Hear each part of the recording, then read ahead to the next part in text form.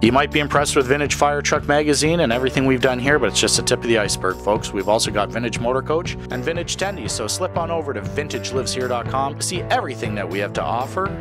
Folks, if you've enjoyed this video, just do us a favor and go on over and subscribe to our channel. Tell your friends about it and tune on in. We're going to provide you ongoing content with the greatest stories from the vintage fire truck and classic apparatus world.